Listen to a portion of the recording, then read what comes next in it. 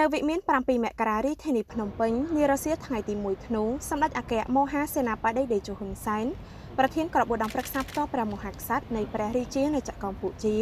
និងជាប្រធានគណៈបកប្រជាជនកម្ពុជាបានអនុញ្ញាតឲ្យឯកឧត្តមសុកធីនខ្លាំងសែង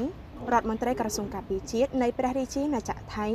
និងគណៈប្រតិភូចូលជួបសម្ដែងការគួសមនិងពិភាក្សាការងារក្នុងឱកាសដែលគណៈប្រតិភូបំពេញទស្សនកិច្ចនៅព្រះរាជាណាចក្រកម្ពុជា សម្ដេចតេជោហ៊ុនសែនបានថ្លែងការកោតសរសើរចំពោះឯកឧត្តមរដ្ឋមន្ត្រីក្រសួងការពារជាតិថៃដែលបានជ្រើសរើសព្រះរាជាណាចក្រកម្ពុជាជាប្រទេសទី1ក្នុងដំណើរទស្សនកិច្ចរបស់ឯកឧត្តមនិងគណៈប្រតិភូក៏ដូចជាទស្សនកិច្ចរបស់នាយករដ្ឋមន្ត្រីថៃកាលពីខែកញ្ញាកន្លងមកនេះដែលបង្ហាញអំពីការយកចិត្តទុកដាក់របស់ព្រះរាជាណាចក្រថៃចំពោះទំនាក់ទំនងមិត្តភាពនិងកិច្ចសហប្រតិបត្តិការជាមួយព្រះរាជាណាចក្រកម្ពុជា សម្ដេចតេជោបានសម្ដែងក្តីសង្ឃឹមថាទស្សនកិច្ចរបស់គណៈប្រតិភូក្រសួងការពារជាតិថៃនៅពេលនេះនឹងពង្រឹងថែមទៀតនៅទំនាក់ទំនងរវាងប្រទេសទាំងពីរជាពិសេសរវាងកងទ័ពទាំងពីរឯកឧត្តមសុធិនខ្លាំងសែង បានថ្លែងអំណរគុណចំពោះសម្ដេចតេជោហ៊ុនសែនដែលបានស្វាគមន៍យ៉ាងកក់ក្ដៅនិងអនុញ្ញាតឲ្យគណៈប្រតិភូរបស់ឯកឧត្តមបានចូលជួបសម្ដែងការគួរសមក្នុងឱកាសបំពេញទស្សនកិច្ចនៅព្រះរាជាណាចក្រកម្ពុជានាពេលនេះឯកឧត្តមបានជម្រាបជូនសម្ដេចតេជោអំពីលទ្ធផលប្រកបដោយផ្លែផ្កាក្នុងជំនួបសម្ដែងការគួរសមនិងពិភាក្សាការងារជាបន្តបន្ទាប់ជាមួយឯកឧត្តមឧបនាយករដ្ឋមន្ត្រីទាសីហារដ្ឋមន្ត្រីក្រសួងការពារជាតិកម្ពុជា កាលពីព្រឹកថ្ងៃទី1ធ្នូនឹងជំនួបសម្ដែងការគួរសម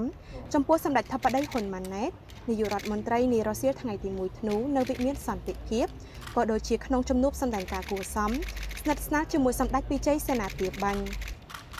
ឯកឧត្តមរដ្ឋមន្ត្រីបានកោតសរសើរចំពោះទំនាក់ទំនងល្អប្រសើររវាងប្រទេសទាំងពីរដែលមានភាពកាន់តែរលូនរឹងមាំជាលំដាប់ដោយប្រទេសទាំងពីរបានប្រើយន្តការដែលមានស្រាប់នាពេលកន្លងមកដូចជាយន្តការ JBC ក្នុងការពង្រឹងទំនាក់ទំនងជាលំដាប់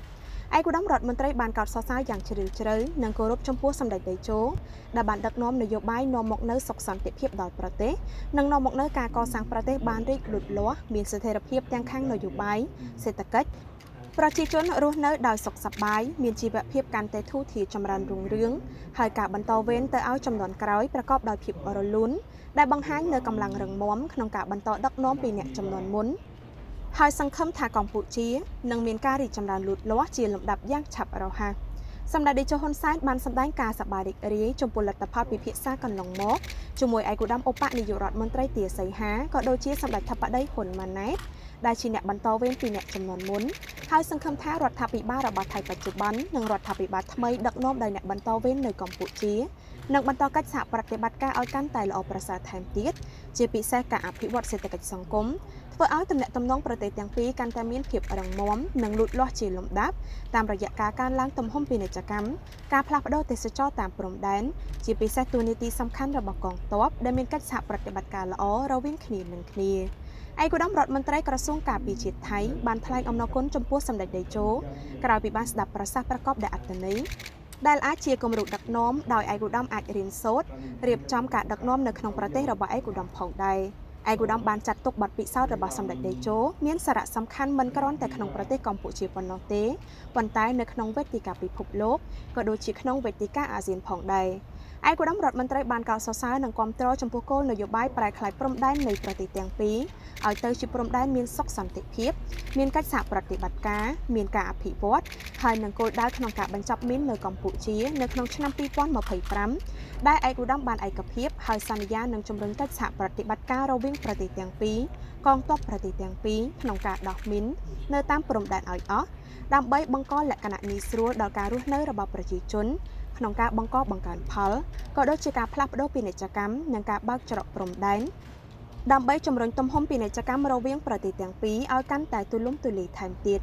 សម្ដេចតេជោហ៊ុនសែនបានមានប្រសាសន៍លើកទឹកចិត្តរាជរដ្ឋាភិបាលប្រទេសទាំងពីរកងទ័ពទាំងពីរដែលមានកិច្ចសហប្រតិបត្តិការល្អប្រសើរកន្លងមក បន្តកិច្ចសហប្រតិបត្តិការថែមទៀតលើយន្តការដែលមានស្រាប់បន្ថែមលើយន្តការ JBC និង GBC គឺយើងមានយន្តការជាច្រើនទៀតដូចជា GMS ACMEC CLMTV អាស៊ានជាដើម។